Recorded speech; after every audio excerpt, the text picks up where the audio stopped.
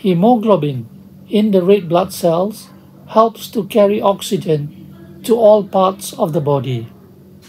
Hemoglobin is made of alpha globin and beta globin.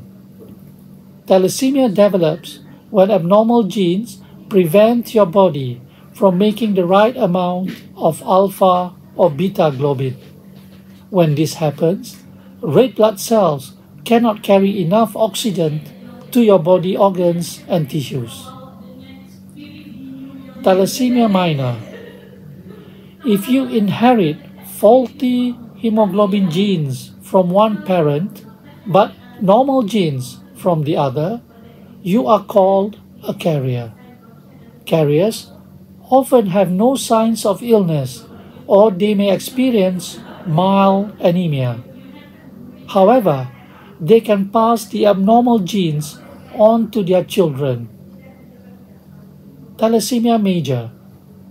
If you inherit abnormal genes from both parents, your disease may be moderate to severe. There are two types of thalassemia major, and these are alpha thalassemia and beta thalassemia, and these will be covered in the next video.